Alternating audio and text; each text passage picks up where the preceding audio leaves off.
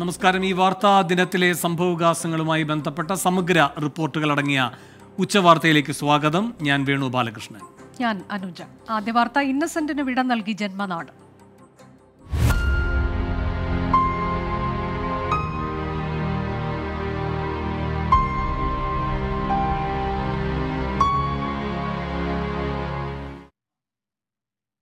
മലയാളത്തിന്റെ മഹാനടൻ ഇന്നസെന്റിന് കണ്ണീരോടെ വിട നൽകി ജന്മനാട്. ഇരിങ്ങാലക്കുട സെയിന്റ് തോമസ് കത്തീഡ്രൽ സെമിത്തേരിയിൽ നടന്ന സംസ്കാര ചടങ്ങിൽ പങ്കെടുക്കാൻ ആയിരങ്ങളാണ് എത്തിയത്.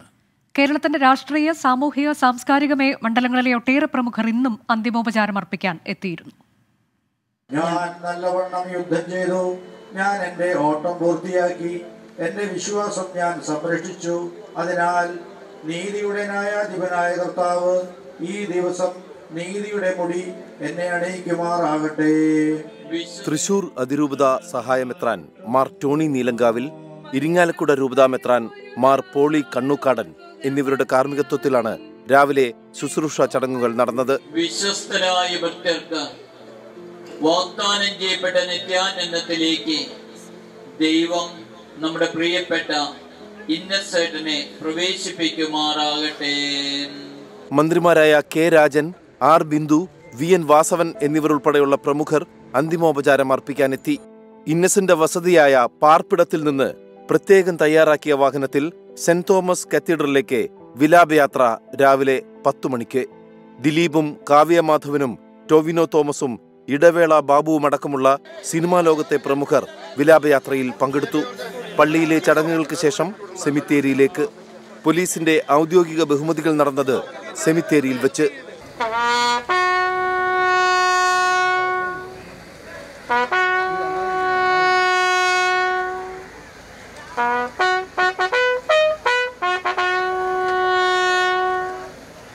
ഒടുവിൽ ഭാര്യ ആലീസിന്റെയും മകൻ സോണച്ചിന്റെയും കുടുംബാംഗങ്ങളുടെയും അന്ത്യചുംബനം.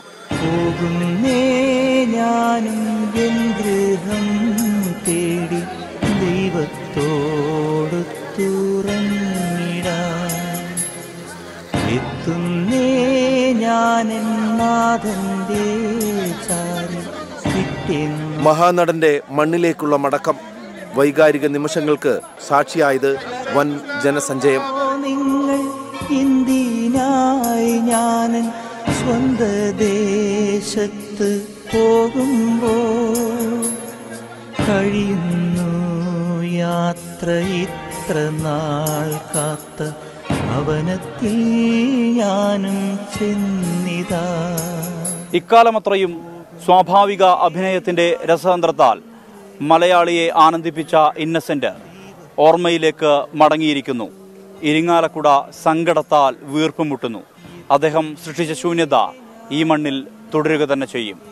സുർജിത് അയ്യപ്പത്ത് ട്വന്റി ഫോർ തൃശൂർ ചിരിയുടെ തമ്പുരാന് വിങ്ങലോടെ വിട നൽകി ഇരിങ്ങാലക്കുട. വികാരനിർഭര രംഗങ്ങൾക്കാണ് ഇരിങ്ങാലക്കുട സാക്ഷിയായത്. പാർപ്പിടമെന്ന വീടിന്റെ ഉമ്മറത്തെ ചാരുകസേരയിലിരുന്ന് വീട്ടുമുറ്റത്തെത്തുന്നവരെ നിറപുഞ്ചിരിയോടെ വരവേറ്റ് നർമ്മത്തിൽ കുശലം പറയുന്ന ഇന്നസെന്റ് ഇനി ഓർമ്മയാണ്. സകലത്തിന്റെയും നാഥനും ദൈവവുമായ മിശിഹായി നിന്റെ കുരിശിന്റെ ഇന്നസെന്റിനെല്ലാം ഇരിങ്ങാലക്കുടയും ഇരിങ്ങാലക്കുടയ്ക്ക് അവരുടെ ഇന്നസെന്റുമായിരുന്ന നാളുകൾ. ആ നാളുകൾക്കാണ് വിരാമമായത്.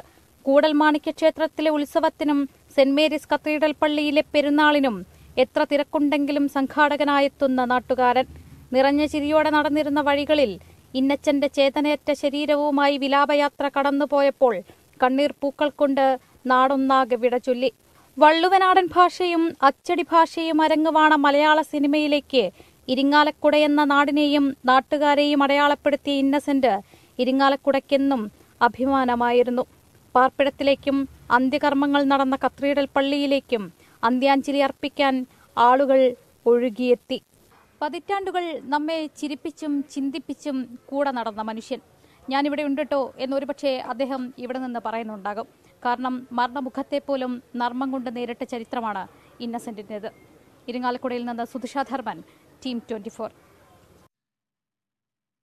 Adani Rahul Gandhi അയോഗ്യതാ വിഷയങ്ങളിൽ പാർലമെന്റിൽ ഇന്നും പ്രതിഷേധം.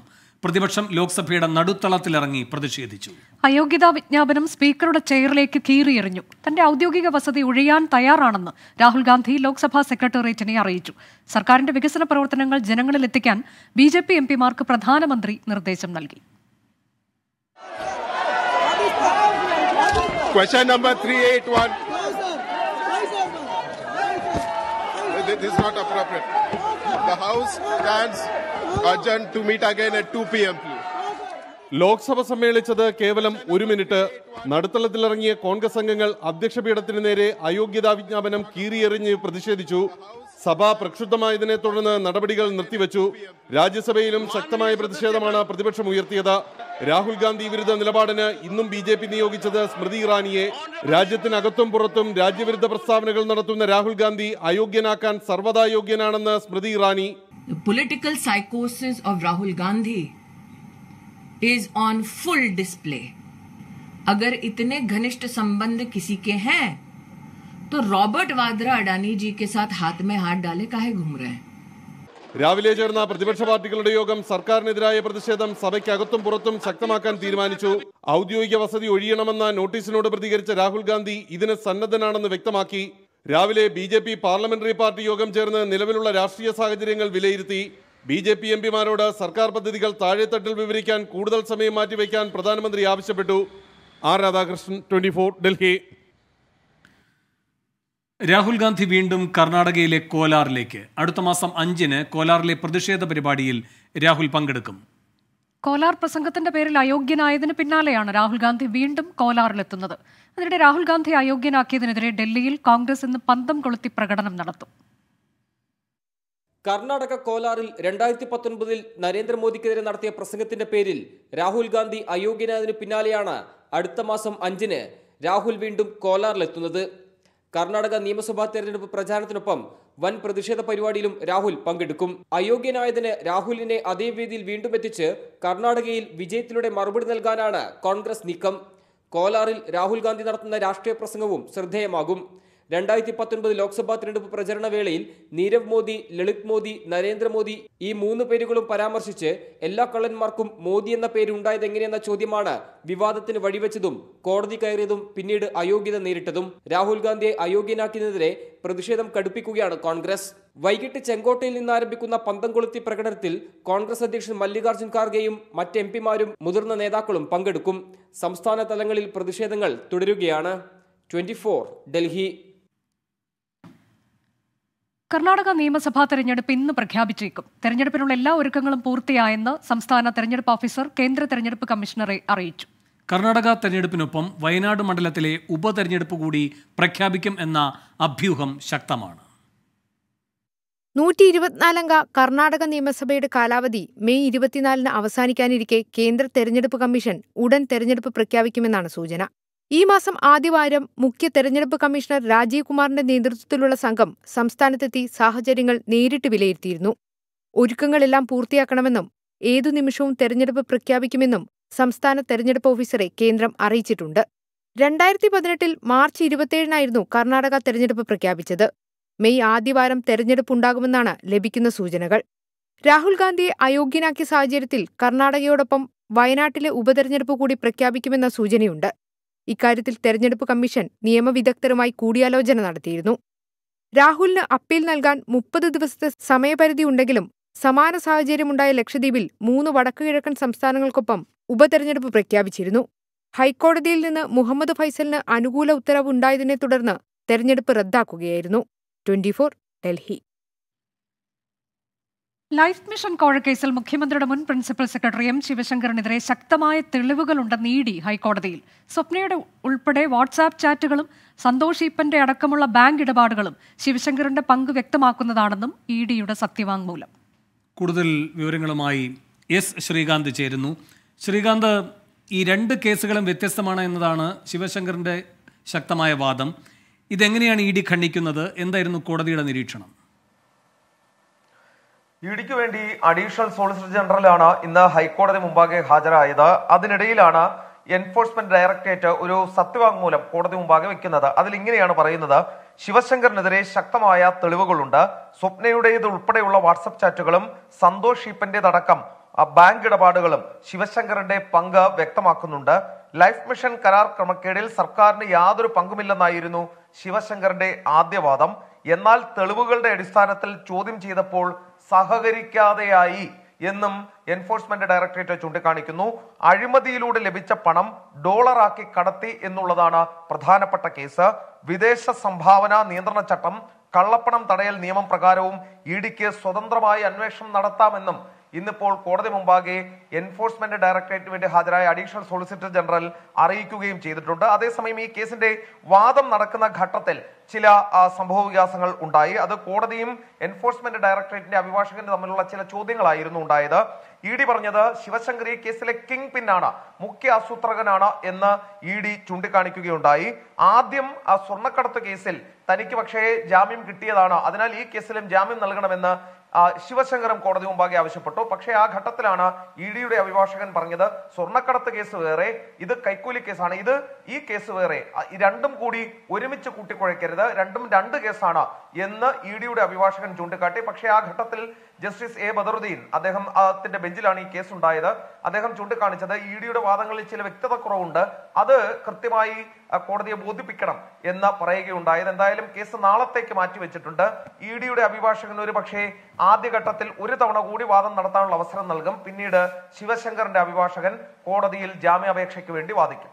ശരി ശിവശങ്കറിന്റെ ജാമ്യ ഹർജിയെ ശക്തമായി എതിർത്ത് ഇ ഡി ഹൈക്കോടതിയിൽ വിശദാംശങ്ങൾ നൽകുകയായിരുന്നു. എസ് ശ്രീകാന്ത്. ബ്രഹ്മപുരം മാലിന്യ പ്ലാന്റിലെ തീപിടുത്തത്തിൽ അട്ടിമറിയില്ലെന്ന് പോലീസ് അന്വേഷണ റിപ്പോർട്ട്. രാസവിഘടന പ്രക്രിയയാണ് തീപിടുത്തത്തിന് കാരണമെന്ന് റിപ്പോർട്ടിലുണ്ട്. കൊച്ചി സിറ്റി പോലീസ് കമ്മീഷണർ അന്വേഷണ റിപ്പോർട്ട് സർക്കാരിന് നൽകി.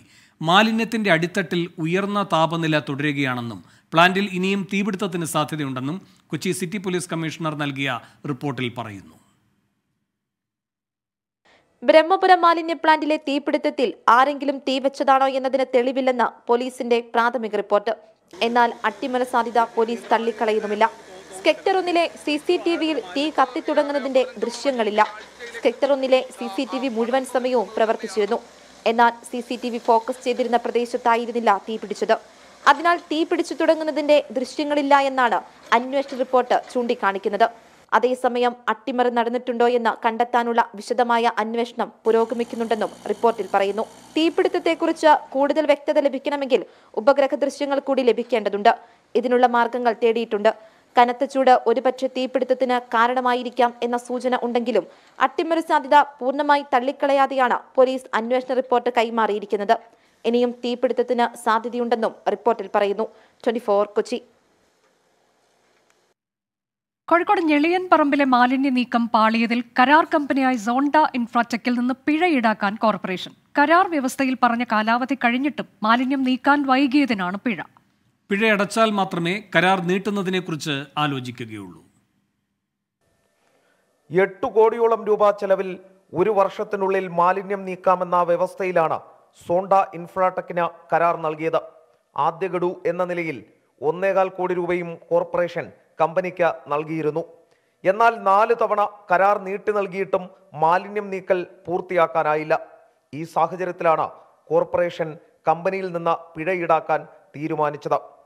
അതേസമയം ബ്രഹ്മപുരം തീപിടുത്തത്തിൽ സോണ്ട ഇൻഫ്രാടെക്കിനെതിരെ ആരോപണമുന ഉയർന്നതോടെയാണ് കരാർ വീണ്ടും പുതുക്കുന്ന കാര്യത്തിൽ കോർപ്പറേഷൻ പുനരാലോചന നടത്തുന്നത്. കരാർ റദ്ദാക്കണമെന്നാവശ്യപ്പെട്ട് കോൺഗ്രസ് ബി ജെ പി കൗൺസിലർമാർ സമരരംഗത്തുമാണ്. Twenty four Kozhikode. ഇടുക്കിയിലെ അക്രമകാരിയായ അരിക്കൊമ്പൻ കാട്ടാനയെ മയക്കുവെടി വെക്കുന്നതിന് വേണ്ടിയുള്ള വനംവകുപ്പിന്റെ സംഘങ്ങളെ രൂപീകരിച്ചു. എട്ട് സംഘങ്ങളെയാണ് ദൗത്യത്തിനായി നിയോഗിച്ചിരിക്കുന്നത്. കേസ് കോടതിയുടെ പരിഗണനയിലായതിനാൽ മോക്ക് ഡ്രിൽ ഒഴിവാക്കാനാണ് നിലവിലെ തീരുമാനം. സി സി എഫ്മാരായ നരേന്ദ്രബാബു ആർ എസ് അരുൺ എന്നിവരുടെ നേതൃത്വത്തിലായിരിക്കും അരിക്കൊമ്പനെ മയക്കുവെടി വെക്കുന്ന ദൗത്യം നടക്കുക. എട്ട് സംഘങ്ങൾക്കും ചെയ്യേണ്ട ജോലികൾ ഡോക്ടർ അരുൺ സക്കറെ വിശദീകരിച്ചു നൽകി. ദൗത്യത്തിനു വേണ്ടിയുള്ള ഉപകരണങ്ങളും പരിചയപ്പെടുത്തി. ഓരോ സംഘത്തിന്റെ തലവന്മാർ നിൽക്കേണ്ട സ്ഥലവും നിശ്ചയിച്ചു. അരിക്കൊമ്പനെ മയക്കുവെടിവെച്ച് പിടികൂടിയാൽ കൊണ്ടുപോകാനുള്ള ബലപ്പെടുത്തിയ വാഹനവും തയ്യാറാണ്. ഇരുപത്തിയൊൻപതിന് കോടതി വിധി അനുകൂലമായാൽ മുപ്പതിന് രാവിലെ നാലു മണിക്ക് ദൗത്യം തുടങ്ങും. അരിക്കൊമ്പൻ നിലവിൽ ദൗത്യമേഖലയായ സിമന്റ് പാലത്തിന് സമീപമാണ് ഉള്ളത്. അരിക്കൊമ്പ കണ്ടു. അത് നമ്മൾ ഒരു വളവ് എരിഞ്ഞപ്പോഴാണ് കണ്ടത്. പക്ഷെ പെട്ടെന്ന് തന്നെ വണ്ടിയുടെ അടുത്തേക്ക് വന്ന് അത് ഞങ്ങൾ മാറ്റി നിർത്തേക്കായിരുന്നു പിന്നെ കുറച്ച് നേരം വാച്ചർമാരവിടെ നിന്ന് അവർ വീഴ്ചിട്ട് പടക്കം പൊട്ടിച്ച് ഓടിക്കുക ചെയ്തത് എന്നാലും പോയില്ല. സൈഡിൽ തന്നെ നിൽക്കണ്ടായി പെരിയ കനാൽ എസ്റ്റേറ്റ് മേഖലയിലെ കരിക്കൊമ്പൻ തിരികെ പോകാതിരിക്കാനുള്ള നടപടി വനം വകുപ്പ് തുടങ്ങി. കോടതി വിധി അനുകൂലമാക്കുന്നതിന് വേണ്ടിയുള്ള രേഖകൾ വനം വകുപ്പ് സമർപ്പിച്ചിട്ടുണ്ട്. ട്വന്റി ഇടുക്കി. സുഹൃത്തിന്റെ ആക്രമണത്തിനിരയായി കോഴിക്കോട് ചികിത്സയിൽ കഴിഞ്ഞിരുന്ന റഷ്യൻ യുവതി നാട്ടിലേക്ക് മടങ്ങി. യഥാർത്ഥ പാസ്പോർട്ട് ലഭിച്ചതിനെ തുടർന്ന് ഇന്ന് രാവിലെയാണ് യുവതി യാത്ര തിരിച്ചത്. തന്റെ പാസ്പോർട്ട് സുഹൃത്തായ ആഖിൽ നശിപ്പിച്ചുവെന്നായിരുന്നു യുവതി പോലീസിന് നേരത്തെ മൊഴി നൽകിയിരുന്നത്. യുവതിക്ക് താൽക്കാലിക പാസ്പോർട്ട് ലഭ്യമാക്കാൻ റഷ്യൻ കോൺസുലേറ്റ് നടപടികൾ തുടരുന്നതിനിടെയാണ് അവരുടെ യഥാർത്ഥ പാസ്പോർട്ട് ലഭിച്ചത്. ആഖിലിന്റെ വീട്ടിൽ നിന്ന് ലഭിച്ച പാസ്പോർട്ട് പിതാവ് പോലീസിന് കൈമാറുകയായിരുന്നു. ഈ പാസ്പോർട്ട് ആഖിൽ കീറി നശിപ്പിച്ചു എന്നായിരുന്നു യുവതി പോലീസിന് നേരത്തെ മൊഴി നൽകിയിരുന്നത്. ചികിത്സയിലായിരുന്ന യുവതി ഇന്നലെ ആശുപത്രി വിട്ടതിന് പിന്നാലെയാണ് ഇന്ന് റഷ്യയിലേക്ക് മടങ്ങിയത്. രക്ഷിതാക്കളാണ് യാത്രയ്ക്കുള്ള ടിക്കറ്റ് എടുത്തു നൽകിയത്. കരിപ്പൂർ വിമാനത്താവളത്തിൽ നിന്ന് ദുബായ് വഴിയാണ് യുവതി മോസ്കോയിലേക്ക് പോവുക. കേസ് അന്വേഷണം തുടരുന്നുണ്ടെങ്കിലും മാനുഷിക പരിഗണന കണക്കിലെടുത്തും വിദേശ വനിത എന്ന സാഹചര്യം പരിഗണിച്ചുമാണ് യുവതിയെ നാട്ടിലേക്ക് മടക്കി അയച്ചത്. കഴിഞ്ഞ പത്തൊൻപതിനാണ് കൂരാച്ചുണ്ട് സ്വദേശിയായ ആഖിലിനൊപ്പം റഷ്യൻ യുവതി കേരളത്തിലെത്തിയത്. ട്വന്റി കോഴിക്കോട്. അമേരിക്കയെ വീണ്ടും നടുക്കി സ്കൂൾ കെട്ടിടത്തിൽ വെടിവയ്പ്. ടെനസിയിലെ സ്കൂളിലുണ്ടായ വെടിവയ്പിൽ മൂന്ന് വിദ്യാർത്ഥികൾ ഉൾപ്പെടെ ആറുപേർ കൊല്ലപ്പെട്ടു. തോക്കുമായി സ്കൂൾ കെട്ടിടത്തിൽ തുടർന്ന അക്രമിയെ പോലീസ് വധിച്ചു. ഹൃദയഭേദകമായ ആക്രമണമെന്ന് പ്രസിഡന്റ് ജോ ബൈഡൻ പ്രതികരിച്ചു. നാഷ്വിലെ നഗരത്തിലുള്ള സ്കൂളിലാണ് വെടിവയ്പുണ്ടായത്. എട്ടും ഒൻപതും വയസ്സുള്ള മൂന്ന് കുട്ടികളെ കൊലപ്പെടുത്തിയ അക്രമി സ്കൂൾ മേധാവി ഉൾപ്പെടെ മറ്റു മൂന്നുപേരെയും കൊലപ്പെടുത്തി. അക്രമം നടത്തിയ ഇരുപത്തിയെട്ട് വയസ്സുള്ള എലിസബത്ത് ഓഡ്രി ഹെലിനെ പോലീസ് വധിച്ചു. ട്രാൻസ്ജെൻഡറായ ഹേൽ ഇതേ സ്കൂളിലെ പൂർവ വിദ്യാർത്ഥിയാണ്. തോക്കുമായെത്തിയ എലിസബത്ത് സ്കൂൾ കെട്ടിടത്തിന്റെ വാതിലുകൾ തകർത്ത് അകത്തു പ്രവേശിക്കുന്നതിന്റെ ദൃശ്യം പുറത്തുവിട്ടു. അക്രമത്തിന്റെ കാരണം വ്യക്തമല്ല. എന്നാൽ മുൻകൂട്ടി ആസൂത്രണം ചെയ്താണ് അക്രമി എത്തിയതെന്ന് പോലീസ് അറിയിച്ചു. സ്കൂൾ കെട്ടിടത്തിന്റെ രേഖാചിത്രം ഉൾപ്പെടെ അക്രമിയുടെ കൈവശം ഉണ്ടായിരുന്നുവെന്ന് പോലീസ് ചീഫ് ജോൺ ഡ്രേക്ക് പറഞ്ഞു. രാജ്യത്തെ വീണ്ടും നടക്കുന്ന ആക്രമണമെന്നാണ് പ്രസിഡന്റ് ജോ ബൈഡന്റെ പ്രതികരണം It's heartbreaking, uh, a family's worst nightmare. And I want to commend the police who responded incredibly swiftly within minutes and the danger. We're monitoring the situation really closely, Ben, as you know, and uh, we have to do more to stop gun violence. മരിച്ചവർക്കുള്ള ആദര സൂചകമായി മാസാവസാനം വരെ ദുഃഖാചരണം പ്രഖ്യാപിച്ചു ഇതോടെ രാജ്യത്ത് തോക്കു നിയന്ത്രണ നിയമനിർമ്മാണം വേണമെന്ന ആവശ്യം വീണ്ടും ശക്തമാവുകയാണ്. International desk twenty four Kalamassery അനധികൃത ദത്ത് വിവാദത്തിലെ കുഞ്ഞിനെ തൃപ്പൂണിത്തുറയിലെ ദമ്പതികൾക്ക് തന്നെ ലഭിക്കും. കുഞ്ഞിനെ നിയമപരമായി ദമ്പതികൾക്ക് ദത്ത് നൽകാനുള്ള നടപടിക്രമങ്ങൾ പൂർത്തീകരിക്കാൻ ഹൈക്കോടതി സി ഡബ്ല്യു സിയോട് ആവശ്യപ്പെട്ടു. ഹൈക്കോടതി ഉത്തരവിന്റെ പകർപ്പ് ട്വന്റി ഫോറിന് ലഭിച്ചു. Twenty four exclusive. നിയമത്തിന്റെ സാങ്കേതികത്വത്തിനപ്പുറം വൈകാരികതയ്ക്കും മനുഷ്യത്വത്തിനും ഇടമുണ്ട് എന്ന് തെളിയിക്കുന്നതാണ് കളമശ്ശേരി അനധികൃത ദത്തു വിവാദത്തിലെ ഹൈക്കോടതിയുടെ ഇടപെടൽ. കുഞ്ഞിനെ ആറുമാസം പോറ്റി വളർത്തിയ തൃപ്പൂണിത്തുറയിലെ ദമ്പതികൾക്ക് തന്നെ കുഞ്ഞിന്റെ സംരക്ഷണാവകാശം ലഭിക്കാനുള്ള വഴിയാണ് തെളിഞ്ഞിരിക്കുന്നത്. ദമ്പതികൾ നൽകിയ ഹർജി പരിഗണിച്ച കോടതി കുഞ്ഞുങ്ങളുണ്ടാകാൻ ദമ്പതികൾ നടത്തിയ ചികിത്സകളടക്കം ഉത്തരവിൽ സൂചിപ്പിച്ചിട്ടുണ്ട്. കുഞ്ഞിനെ നിയമപരമായി തന്നെ ഇവർക്ക് ലഭിക്കാൻ സാഹചര്യമൊരുക്കാനാണ് കോടതി ചൈൽഡ് വെൽഫെയർ കമ്മിറ്റിയോട് ആവശ്യപ്പെട്ടിരിക്കുന്നത്. കുഞ്ഞിനെ ദത്ത് ലഭിക്കാനാവശ്യമായ അപേക്ഷ നൽകാൻ തൃപ്പൂണിത്തുറയിലെ ദമ്പതികൾക്ക് അവസരമൊരുക്കണമെന്നും ഉത്തരവിൽ പറയുന്നു. കളമശ്ശേരി മെഡിക്കൽ കോളേജിൽ ജനിച്ച കുഞ്ഞിനെ ജനിച്ച ഉടനെ തന്നെ തൃപ്പൂണിത്തുറയിലെ ദമ്പതികൾക്ക് കൈമാറുകയായിരുന്നു. വ്യാജ ജനന സർട്ടിഫിക്കറ്റ് ഉണ്ടാക്കാൻ ശ്രമം നടന്നതോടെയാണ് സംഭവം അനധികൃത ദത്താണെന്നും ബോധ്യപ്പെട്ടത്. സംഭവം വിവാദമായതോടെ കുഞ്ഞിനെ ചൈൽഡ് വെൽഫെയർ കമ്മിറ്റി ഏറ്റെടുക്കുകയായിരുന്നു. വ്യാജ ജനന സർട്ടിഫിക്കറ്റ് നിർമ്മിച്ച കേസിൽ നേരത്തെ കളമശ്ശേരി മെഡിക്കൽ കോളേജിലെ അഡ്മിനിസ്ട്രേറ്റീവ് അസിസ്റ്റന്റ് അനിൽകുമാറിനെ പോലീസ് അറസ്റ്റ് ചെയ്തിരുന്നു. ശ്രീജിത് ശ്രീകുമാരൻ ട്വന്റി കൊച്ചി.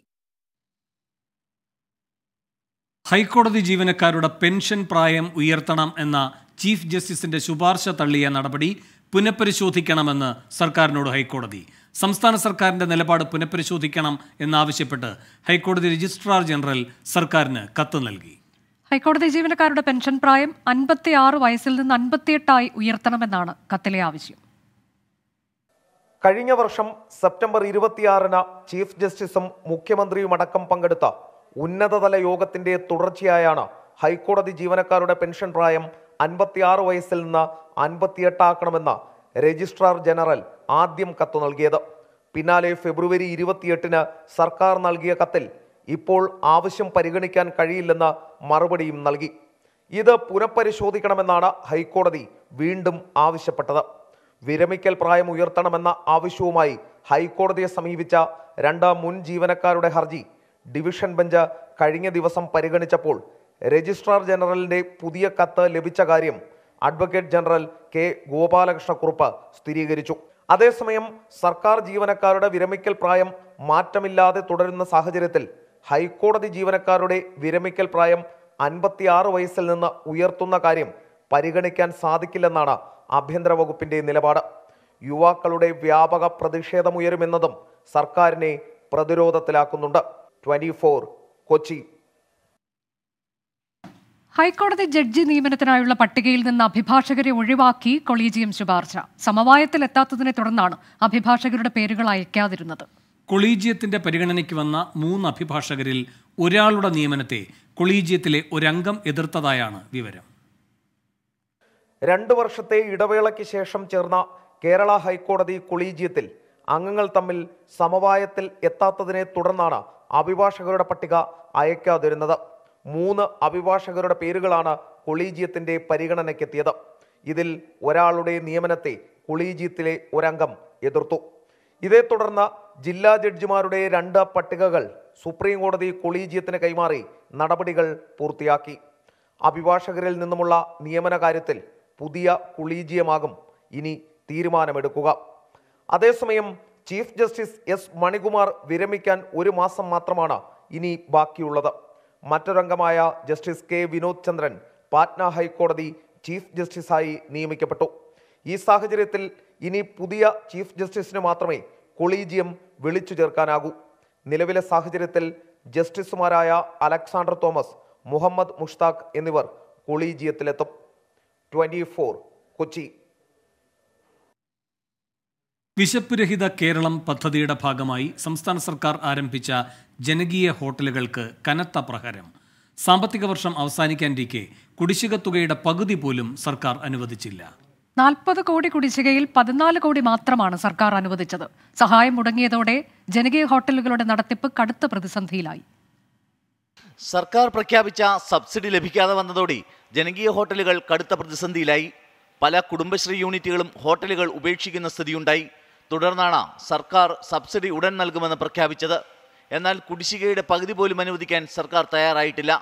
പതിനാല് ജില്ലകളിലായി പ്രവർത്തിക്കുന്ന ജനകീയ ഹോട്ടലുകൾക്ക് മുപ്പത്തിമൂന്ന് കോടി അൻപത്തി ആറ് ലക്ഷത്തി അറുപതിനായിരത്തി അറുന്നൂറ്റി എൺപത്തൊമ്പത് രൂപയാണ് കുടിശ്ശിക. എന്നാൽ നിലവിലെ കണക്ക് പ്രകാരം സബ്സിഡി കുടിശ്ശിക നാൽപ്പത് കോടിയായി ഉയർന്നിട്ടുണ്ടെന്ന് കുടുംബശ്രീ എക്സിക്യൂട്ടീവ് ഡയറക്ടർ മാർച്ച് രണ്ടിന് സർക്കാരിനെ അറിയിച്ചിരുന്നു. എന്നാൽ പതിനാല് ദശാംശം നാല് ആറ് കോടി രൂപ മാത്രമാണ് സർക്കാർ ഇപ്പോൾ അനുവദിച്ചത്.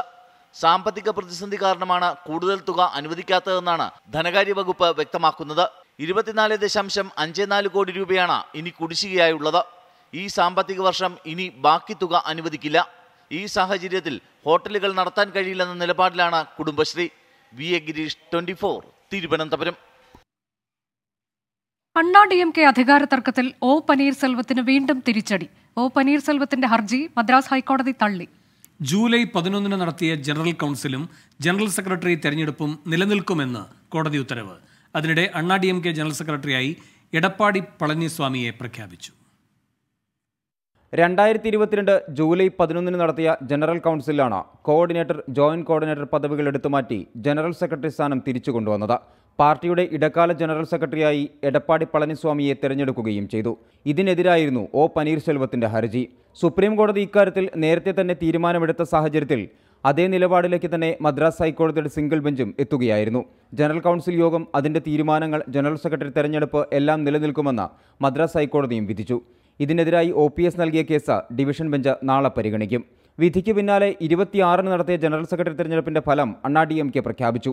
എടപ്പാടി പളനിസ്വാമിയെ ഐക്യകണ്ഠനെയാണ് ജനറൽ സെക്രട്ടറി സ്ഥാനത്തേക്ക് തിരഞ്ഞെടുത്തത്. നേരത്തെ ഒ പി എസിന്റെ ഹർജിയിൽ തെരഞ്ഞെടുപ്പ് നടത്താമെന്നും എന്നാൽ ഫലപ്രഖ്യാപനം പാടില്ലെന്നും ഹൈക്കോടതി വിധിച്ചിരുന്നു. ഇതിന്റെ അടിസ്ഥാനത്തിലാണ് ഫലപ്രഖ്യാപനം മാറ്റിവെച്ചത്. ഏപ്രിൽ അഞ്ച് മുതൽ അണ്ണാ ഡി എം കെയിലെ മെമ്പർഷിപ്പ് ക്യാമ്പയിൻ ആരംഭിക്കുമെന്ന് ജനറൽ സെക്രട്ടറിയായ അധികാരമേറ്റയുടൻ എടപ്പാടി പളനിസ്വാമി പ്രഖ്യാപിച്ചു. ട്വന്റി ചെന്നൈ. ഇരുപതാം നൂറ്റാണ്ട് കണ്ട ഏറ്റവും സാഹസികനായ പത്രപ്രവർത്തകൻ സ്വദേശാഭിമാനി രാമകൃഷ്ണപിള്ളയുടെ ചരമവാർഷിക ദിനമാണ് ഇന്ന്.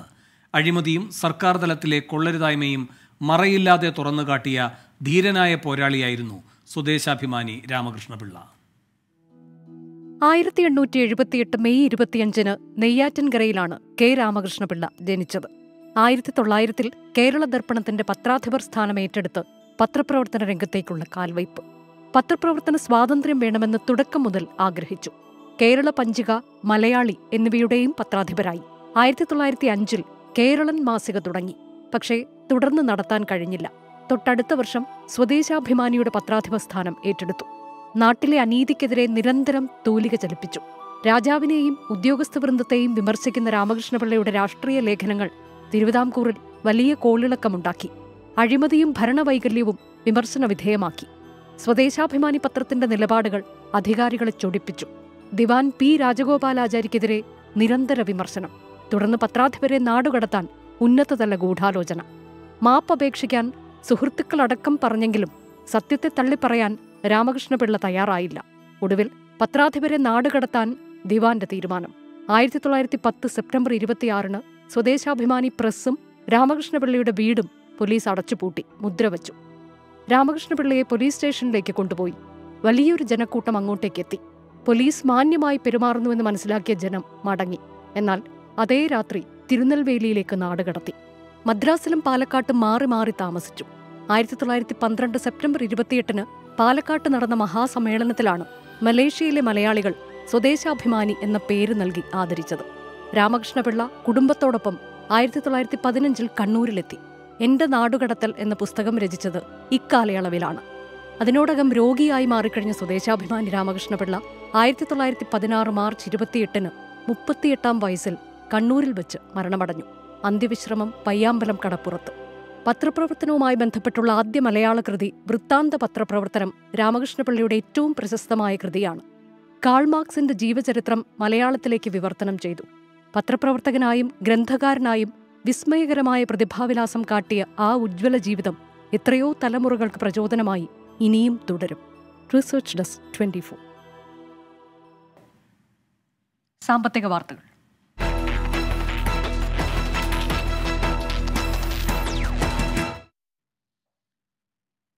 അന്തരീക്ഷത്തിലേക്ക് കാർബൺ ഡയോക്സൈഡ് പുറന്തള്ളുന്നത് കുറയ്ക്കാൻ സ്ഥാപനങ്ങളെ പ്രേരിപ്പിക്കുന്ന കാർബൺ ക്രെഡിറ്റ് വിപണി ഇന്ത്യ ഈ വർഷം തുറക്കും. ഇത് സംബന്ധിച്ച കരട് ചട്ടത്തിന്മേൽ കേന്ദ്രം സംസ്ഥാനങ്ങളുടെ അഭിപ്രായം തേടി. ബ്യൂറോ ഓഫ് ഇന്ത്യൻ സ്റ്റാൻഡേർഡ്സിനായിരിക്കും വിപണിയുടെ ചുമതല. പരിസ്ഥിതി മന്ത്രാലയം സെക്രട്ടറിയുടെ അധ്യക്ഷതയിൽ പതിമൂന്നംഗ ഗവേണിംഗ് ബോഡിയും രൂപീകരിക്കും. ഇന്നത്തെ ഉച്ചവാർത്ത അവസാനിക്കുന്നു.